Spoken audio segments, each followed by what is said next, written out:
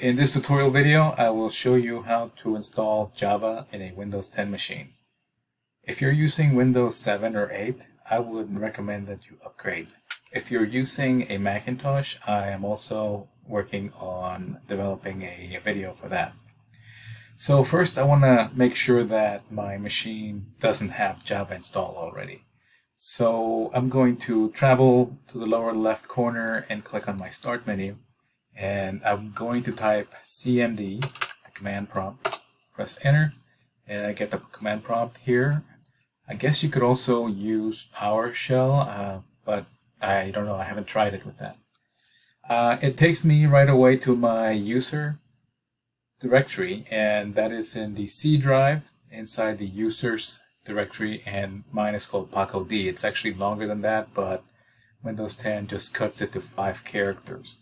If I get a directory listing, DIR shows me what's in there. I've got some personal folders, some work folders, and uh, here is where I may be dumping in a another folder to put in my Java projects.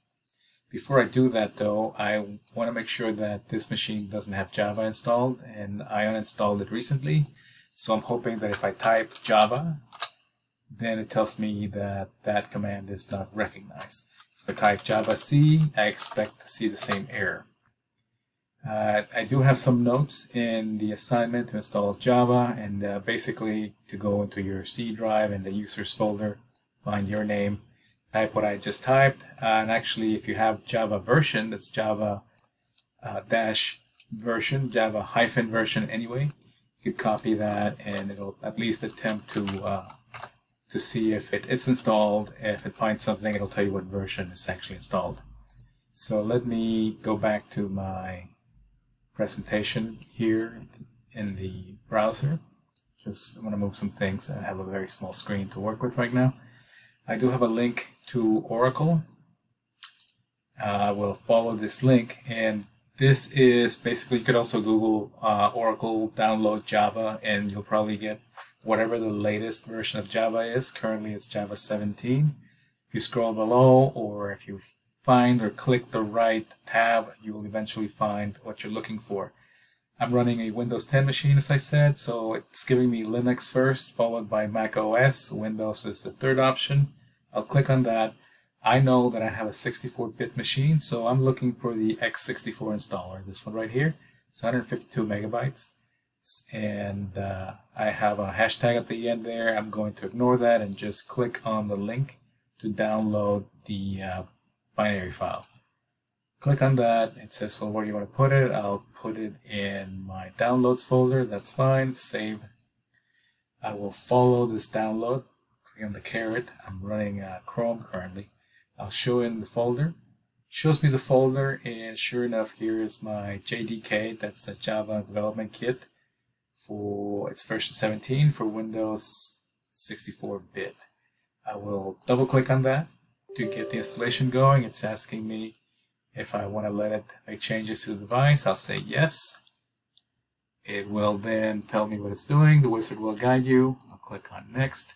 It tells me that it's going to put it in my drive inside a, the program files folder it will make another directory called Java and then one called JDK plus the version number 17.0.1 is where we are currently. Click on next for that. It will continue to uh, install. I can uh, relax for a little bit, uh, not too long because it's done. And uh, now it, it, will show me some extra steps if I want to. Uh, Oracle owns Java. They will. This next steps will take you to their website. You can see all the documentation. Lots of good stuff here if you want to keep that. I can close this file. I'll just keep this open for kicks for now. And uh, let's see what's going on with my installer. The installer is right here. I can close it it'll go away. I'm going to go back to my uh, command prompt and I will attempt to see if Java is there. I'll start with that Java version that I used previously, Java hyphen version. It tells me that it's not recognized. I will type Java again. It doesn't like it either. Uh, a couple of things might have happened. One, the uh, program, or rather Java was installed, but uh, the system needs to be rebooted or at least the command prompt restarted. So I'll start with the easiest solution. I'll close the command prompt and reopen it. I'll go back to my Windows icon, bottom left, start. Type CMD for command prompt. Click on it.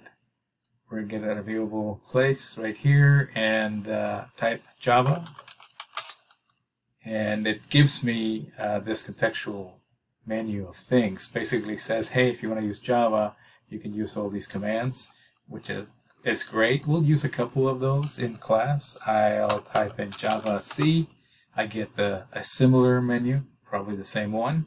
And then remember that other one, the first one, which was uh, Java and then uh, hyphen version or dash version, or I think it's a hyphen.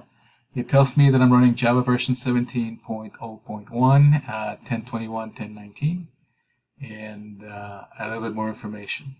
While you're at it here, make sure to get a screen capture of this particular screen. I will want this for your grade. I'm going to press and hold the Windows key plus the Shift key plus the S key as in screen. I get this uh, crosshair cursor, I will click and drag and I'm going to copy at least part of the JavaScript up there and by that I mean the script of Java instructions on top the uh, C colon slash user slash my user directory and the version of Java. I will let go and it gives me a, a snip that was saved to the clipboard. Uh, you can't see the window, it's on the side, but I'll show you what actually I'm seeing. It's this right here. I'm going to uh, save this file by clicking on the uh, save button here, the floppy disk, save as. I'm going to put it on my desktop and I'll just call this uh, my Java and it's a JPEG. I'll save that, close it, and just keep it there for later.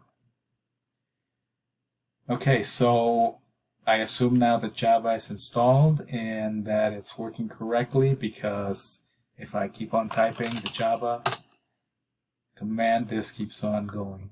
For the uh, assignment that, that this video is attached to, make sure that you find and upload the, uh, the screen capture that you just saved.